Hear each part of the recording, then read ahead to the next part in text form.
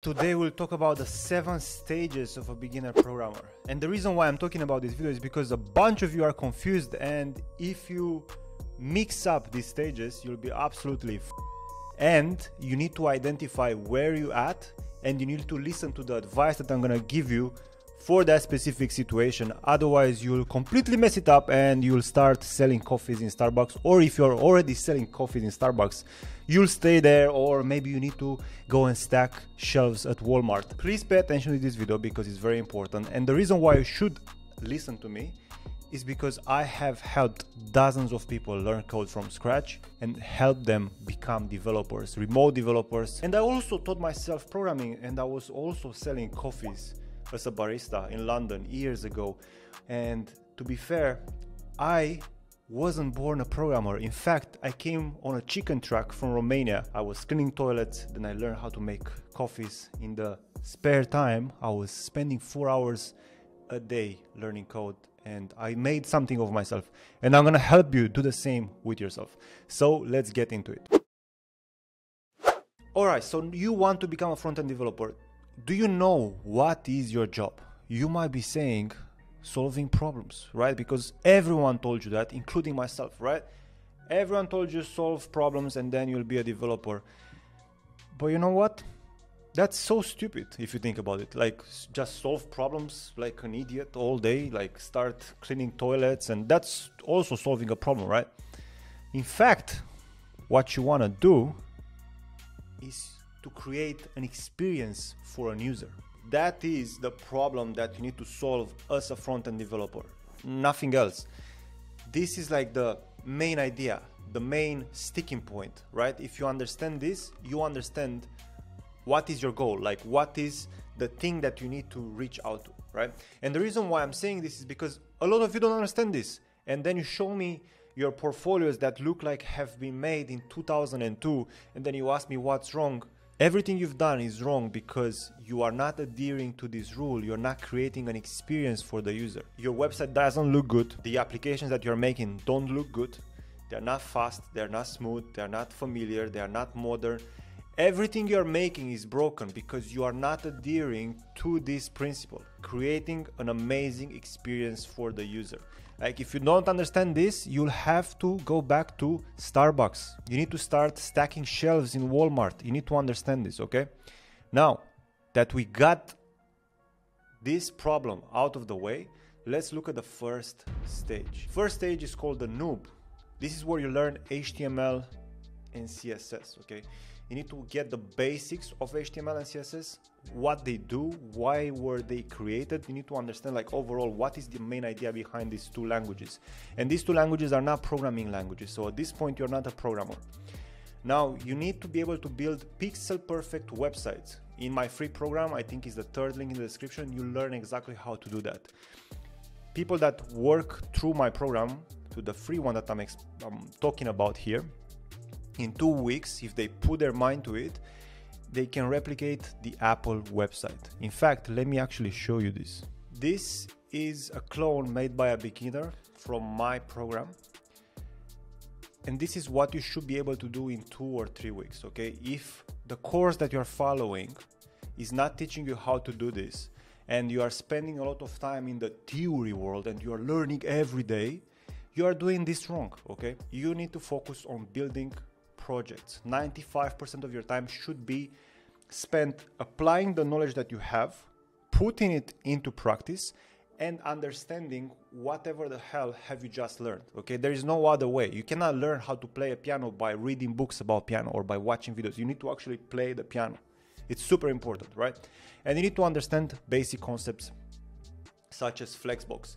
Don't learn grid it's unnecessary, trust me. You'll be doing very, very well if you learn just Flexbox. There are so many people that know Grid, Flexbox, Tailwind, Bootstrap, all these libraries and frameworks, but cannot put a layout together and cannot make a beautiful pixel perfect website. All right, so this is the first stage. Second stage is where you are a beginner in JavaScript. Okay, so your goal should be to learn the syntax and basic concepts of JavaScript like if else statements, functions, variables, data structures like objects and arrays, loops. And you have to be able to write code on a whim. That's the most important thing. Like if I'm asking you, hey, write a function that adds two numbers, receives two arguments or parameters, whatever, and then returns the sum of those, you shouldn't think. You should be like automatically be able to put that in code and create it. All right. This is your goal. You need to be able to freestyle. Okay. If you want to write a function, you write it and then you add an event listener to the DOM. And then when you double click, you insert the date somewhere. Then you double click again, you insert it again. Then you click and then remove the last date that was added. All that bullshit. Like you need to be able to like freestyle and write code that doesn't make any sense just for you to understand how code works. Okay. Write as much code as possible without thinking. I cannot stress this enough because this is super important. And the last thing that you need to do is to practice basic traversal algorithms, aka being able to replicate all the array methods, all the string methods that you have available. That's what I tell my students to do. And it's up to you if you do it or not, but all of them, whenever they put that exercise into practice, no matter if they're complete beginners or they've been using Codecademy, Free Code Camp, that thing with the mastery, I forgot the name, Coursera, uh, if they came from bootcamp, whenever they go through that exercise, their eyes are open and then, can, then they can understand how coding actually works. So I'm actually recommending you to do that.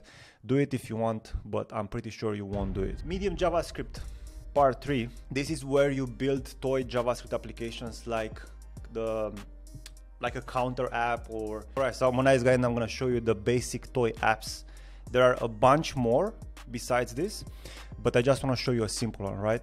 Very simple app made by one of my students. This is again made by another student. This is a bit broken, but they are learning how to use the data structures, right? That's very important. And another one.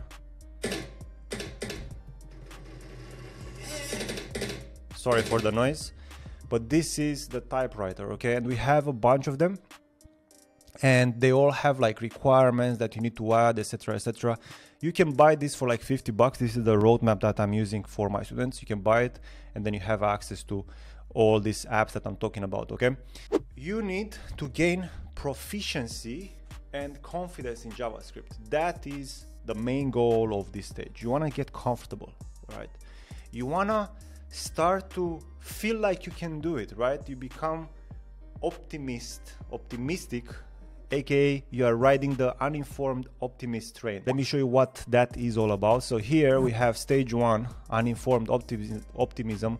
You actually think you can do it, right?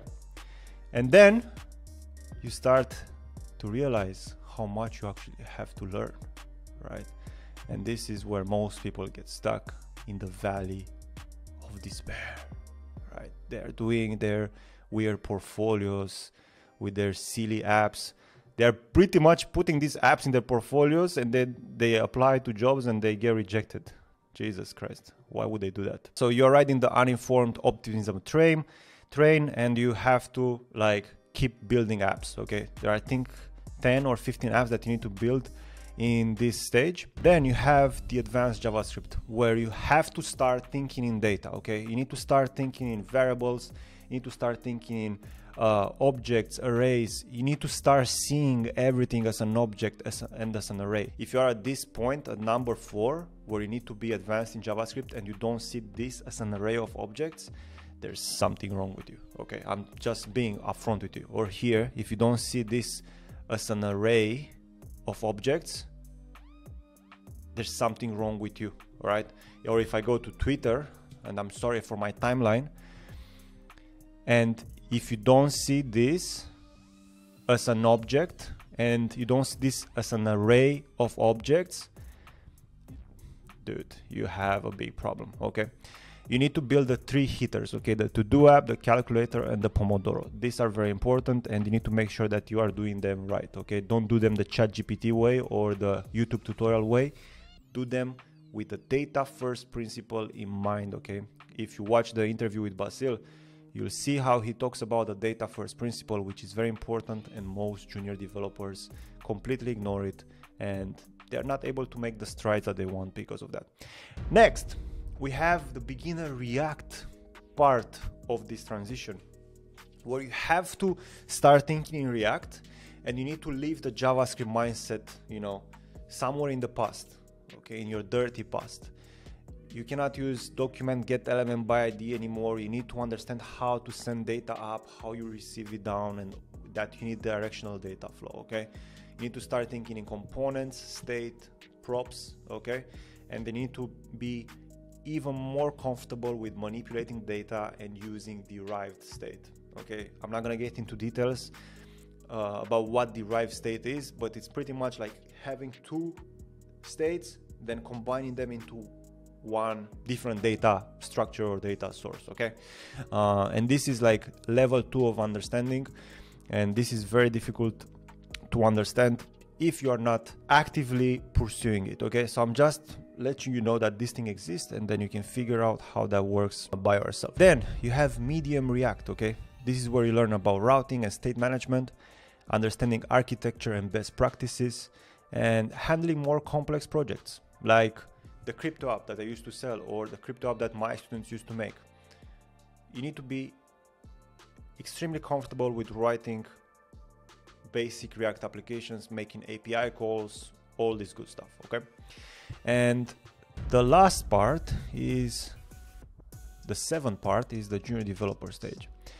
You need to start emphasizing dry and KISS principles. So dry means don't repeat yourself and KISS means keep it simple stupid or keep it stupid simple.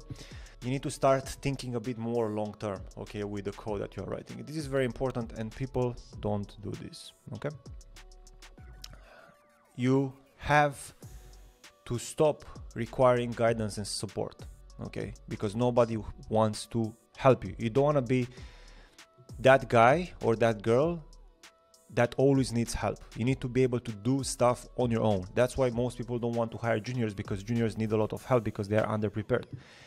And then you're approaching changes in code with caution. And that's in a way good, but in a way bad because sometimes you need to delete a lot of code and to redo the job in the right way, right? And because you are afraid of destroying stuff, you will not do the right way and then you'll just patch things up. Okay. And this is something that you need to keep in mind. You need to be able to start estimating and delivering your work. You should start to think about how long it's going to take you to deliver something because your team needs to understand how good you are so they they can also estimate their own work because you need to go at a specific pace right if you don't understand this because you're working by yourself, that's pretty bad, right? Everyone wants a developer that knows how to estimate their work and knows how to work in a team, okay? And um, the last thing is being a team player, knowing how to communicate, okay?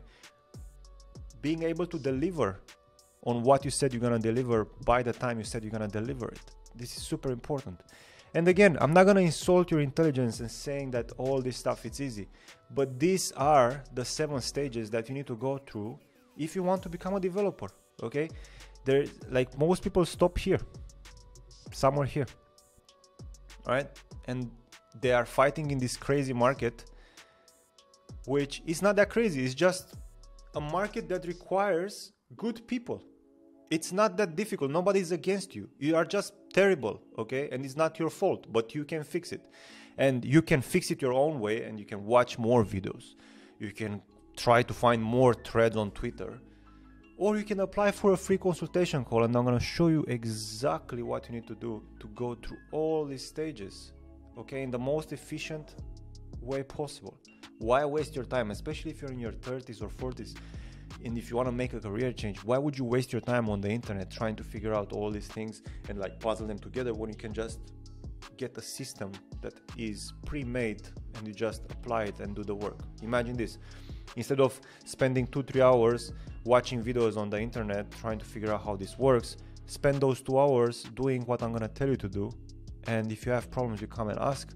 If you need uh, interview prep you come and you're gonna get prepped for the interview and so on and so forth. The whole thing is done for you. Just watch the testimonials on my website on my youtube channel. And all you have to do is you need to be willing to do the work. This is for you if you're a complete beginner and if you have no idea about how code works. And this is also for you if you have some experience if you finished a bootcamp if you've been trying you know all these online resources, you try to stitch them together, but you are not getting the results that you want, this is for you. Again, don't take my word, take my students' testimonials word. And if you're interested, go on my website, apply, and I'll see you in the next one. Bye bye.